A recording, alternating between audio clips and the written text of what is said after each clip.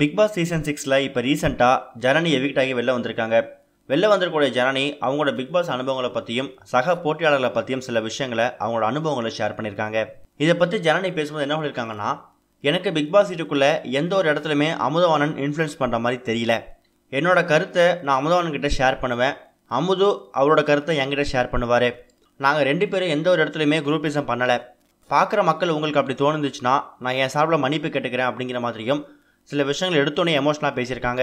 அமுதவாணன் கடைசி வரைக்கும் big pass வீட்டில் இருந்து ஃபினாலே வரைக்கும் வரணும். அமுது டைட்டில் ஜெயிக்கிறாரோ இல்லையோ அட்லீஸ்ட் ஃபைனல் வரைக்குமாவது போகணும் அப்படிங்கிறது தான் என் ஆசை அப்படிங்கிற மாதிரி சில விஷயங்களை வந்து ஜனனி ஷேர் பண்ணியிருக்காங்க. எங்கள் வீட்டில் எங்கள் அப்பா அம்மாலாம் ஃப்ரீ ஸ்டார்ஸ்குள்ளே உள்ளே வர வரைக்கும் நான் வெயிட் பண்ண நினச்சிட்டு இருந்தேன். ஆனால் அதுக்குள்ளே மக்கள் என் மேலே வெறுப்பை காமிச்சு என்னை துரத்திட்டாங்க. இருந்தாலும் இத்தனை நாட்கள் ஒரு எழுபது நாட்கள் வீட்டுக்குள்ளே என்னை உட்கார வச்சு ஆதரவு கொடுத்தவங்க எல்லாருக்குமே ரொம்ப ரொம்ப நன்றி அப்படிங்கிற மாதிரி சொல்லியிருக்காங்க. ஒருவேளை நீங்கள் நினைக்கிற மாதிரி நான் இண்டிவிஜுவலாக கேம் விளையாடி இருந்தால் அமுதவாணன் கிட்ட அவ்வளோ க்ளோஸாக பேசாமல் பழகாமல் இருந்திருந்தா நானும் ஒரு ஃபைனலிஸ்ட்டாக இருந்திருப்பேன். அட்லீஸ்ட் ஃப்ரீ ஸ்டார்ஸ் வரைக்குமாவது போயிருப்பேன் அப்படிங்கிறது வெளில வந்ததுக்கப்புறம் தான் தெரிஞ்சுது. எந்த அளவுக்கு எனக்கு மேலே வெறுப்பை காமிச்சிங்களோ அதை விட அதிகமாக ஒரு சில பேர் எனக்கு ஆதரவும் கொடுத்துருக்கீங்க. நான் அவங்களுக்கு ரொம்ப ரொம்ப கடமைப்பட்டிருக்கேன். நன்றி தெரிவிச்சுக்கிறேன் அப்படி மாதிரி தெரிவிச்சிருக்காங்க. அடுத்ததாக ஹவுஸ்மேட்ஸை பற்றி பேசும்போது அசீம் அண்ணா ஒரு சில இடங்களில் தேவையில்லாமல் அதிகமாக கோவப்படுறாரு. ஆனால் அவர் எந்த ஒரு விஷயம் பண்ணாலும் திட்டம் போடாமல் பிளான் பண்ணாமல் பண்ண மாட்டார்.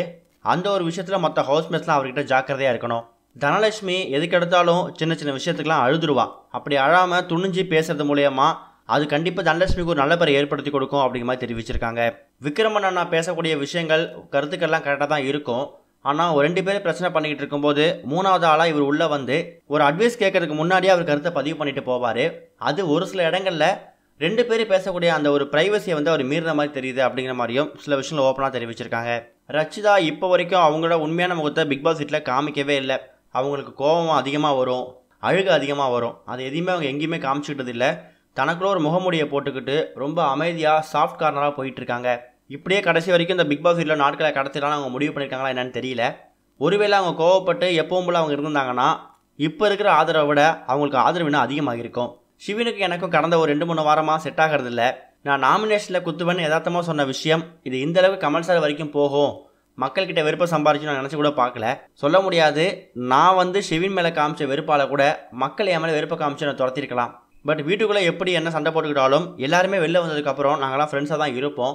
ஒருத்தருக்கு ஒருத்தர் மீட் பண்ணிப்போம் அவங்க வீட்டுக்கு போவோம் வருவோம். இப்போ வீட்டில் இருக்கக்கூடிய எல்லாருமே வந்து டைட்டிலுக்கு தகுதியான நபர் தான். யார் டைட்டில் வின் பண்ணாலும் சந்தோஷப்படுவேன்? ஆனால் மற்றவங்களோட அமுதவனம் டைட்டில் வின் பண்ணால் இன்னும் கொஞ்சம் சந்தோஷம் அதிகமாக இருக்கும் அப்படிங்கிற மாதிரியும் ஜனனி அவங்களோட பிக் பாஸ் அனுபவங்களை பற்றியும் ஹவுஸ்மேட்ஸை பற்றியும் சில விஷயங்களை ஷேர் பண்ணியிருக்காங்க. இது வரைக்கும் கனெக்டிங் டிவிக்கு சப்ஸ்கிரைப் பண்ணனா மறக்காமல் சப்ஸ்கிரைப் பண்ணிக்கங்க. உடனடி அப்டேட்ஸ் பெறுவதற்கு நோட்டிஃபிகேஷன் பெல்லையும் கிளிக் பண்ணிக்கங்க.